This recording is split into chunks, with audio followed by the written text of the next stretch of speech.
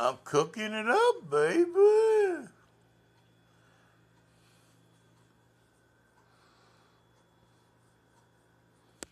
Eight o'clock in the morning.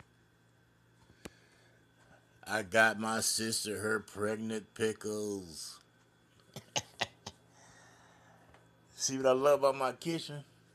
See, if I want to cook something and I don't know what to cook, or if it's something in there that I don't know about the recipe, if I need it, I can go online.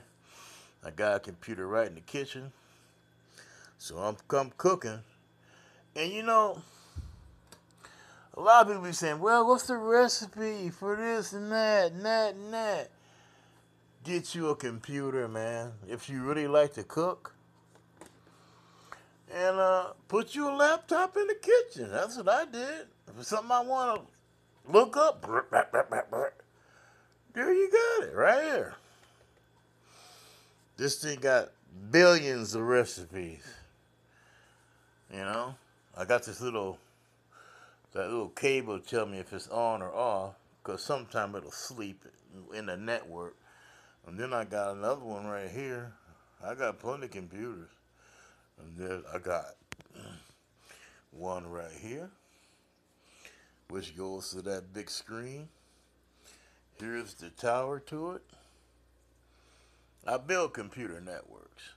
Here's the hard drives. I got more computer in here. Here's the rest of the network. Big printer here. Printer here. Printer here. Computer there. I got a bunch of them. They all running. Printer here. Computer here. Right there. I got a bunch of computers. I got five of them. They all running. Here's another computer screen. But this here is hooked up to the stick. But uh, it's still a computer. Uh, you just turn the bar on here and uh, it'll boot up. There you go, see? I got bunches of computers. But that's how it starts up. And uh, it's nice. There you go. Yep. Lots of computers, man. They're all over the place. Let me get back to cooking. This thing is still starting up. Um,